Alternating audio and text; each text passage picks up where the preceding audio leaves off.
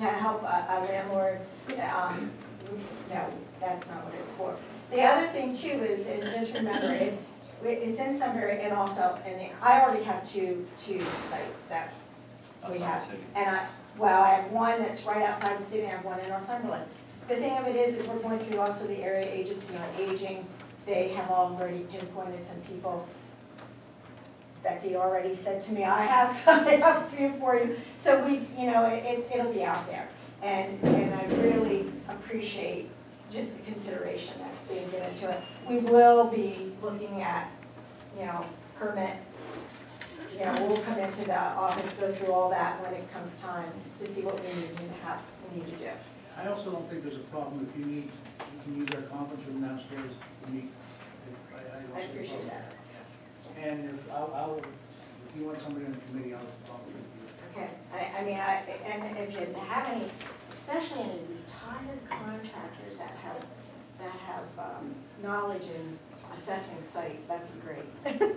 It's always better to make things better than, or instead of making them worse, you know. That's right, that's right. Thank you. Thank you, Rena, that's great news, great news. Any audience comment? Yes, ma'am. Uh, Do I call the code office if there is like trees and bushes that are growing out over a street? Are they responsible for that? On Baldy Street, between um, Ray Street and, I'm not sure, it's, it's right, um, the address is 240 North Front Street. The back of that property is, has trees and bushes and everything else growing out over, that when the people park in their parking lot, you can't go in their parking lot to go around it. You have to hit it, and it does a number on the side of your car. Okay. Said Baldy, Baldy 240 North Street. Well, that's the back of it, it's on Baldy Street, but the property is up for sale, and it's two forty North Front Street. But the, the brush is so overgrown and it's growing out over the alley, It's not only that street, it's all other ones in town. Yeah. I'm not Yeah, sure. that's not the one we put on the nuisance list. And that says two forty is vacant. Well, the house has a for sale sign on it, That next to the wire practice place. ah, yes. Yes, Uh, Two eighteen used to live there, still moved out, it's his old place. Two eighteen is the one that sends the chiropractor, unless it's on the other side. It's on that. Okay. Okay, any other questions? We want to announce the beginning, I'm sorry. Yes, ma'am.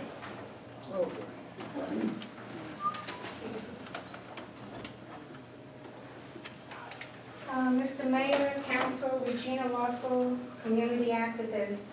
Um, I just want to discuss a couple of things that I um, witnessed uh, in the last month's meeting. There used to be a time when police officers were a friend to the neighborhood and the community. They knew all of the community activists, they knew the leaders, and they knew some of the residents, good or bad, by name. Chief Mazzeo was that type of policeman, and I hope that the new chief will live up to his standards and better. And I say that because I came here in 2006, and he was the only person that would speak to you. It didn't have to be for a reason, and I've even passed you sometimes, Mr. Mayor, and you say hello. You may not know my name, or you may have not known my name, but you would at least greet me. And to me, I think that that's um, a good, it's a good character to have that when you're dealing with the public. At the last meeting, there was a conversation going on with a couple of the council members, and I really didn't know what was going on until afterwards. And it was about um, uh, Jerome Alex calling uh, Mr. Lamb a liar out publicly, publicly in a meeting. And it seemed like the council members wanted to, I- to me, it seemed like they were condoning his behavior because during that meeting, no one corrected him for his behavior.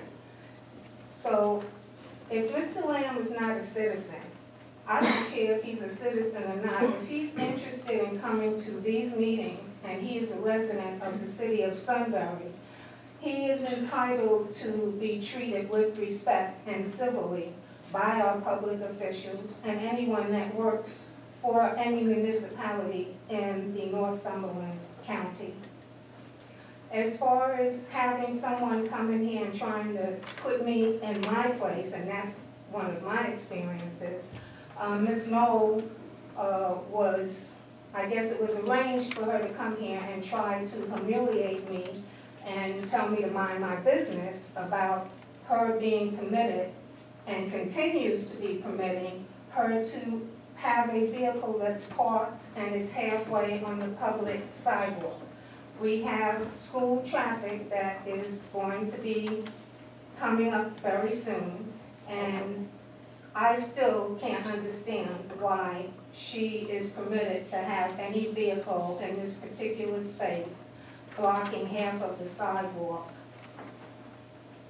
So I want to say, it is my civic responsibility to come to you and the council and bring my concerns to you with the hopes that you will take care of it and fix it, because that is why most of you are elected into these positions. People trust that you will take care of their concerns and issues. If no one is familiar on the council with the Pennsylvania state ethics, it will familiarize you with what is expected of you as a public official and public employees. And it's something uh, that I think maybe some of you should become familiar with because it deals with the ethical standards of the state of Pennsylvania. Thank you. You're welcome. Anybody else? Okay, I guess this is not really good news, because beginning August eighteenth, uh, begin roadway improvements on Front Street, the ending date September nineteenth. However you look at that, that's a month, that's a long time. Work will begin seven AM to five PM, Monday through Friday.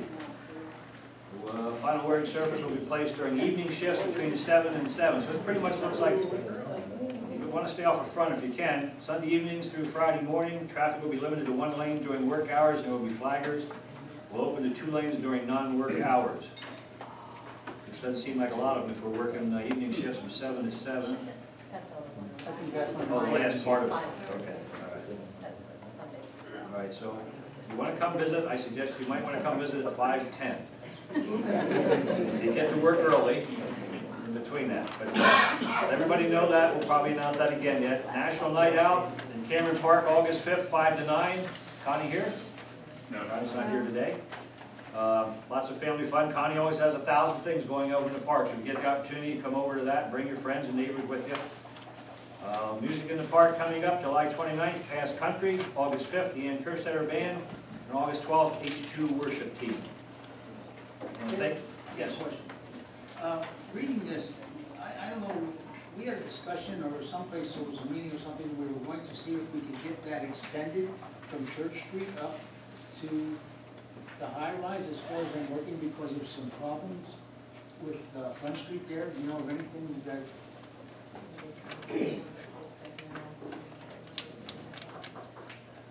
I thought they had said they could work on it.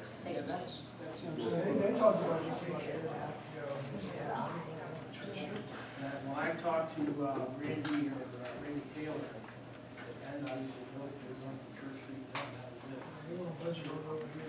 And some in there, like this has been in work for a couple of years. And we actually, I guess, started last year, the year before. That's what we. I talked to Randy Taylor, the second in charge of PennDOT out here, so. And I wasn't telling any of the reps of legal reps, so I don't know. No, I mean, I I'm tried to leave I don't know about. just through discussion that if it was pursued or something, and I don't know why I thought that, that they kind of lean, lean towards uh, going up the high rise. No, He was, he was adamant, no. Yes. Okay. Anything else? I want to thank everybody for coming, this meeting's adjourned. Thanks,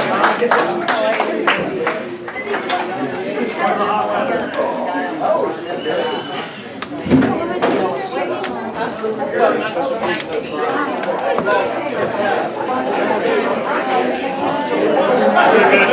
my family, and I'll talk to you all in one thing.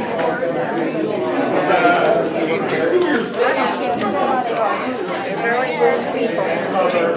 Hello, how are you? Well, I saw her two or two of them, uh, boy. Where? Still in the area?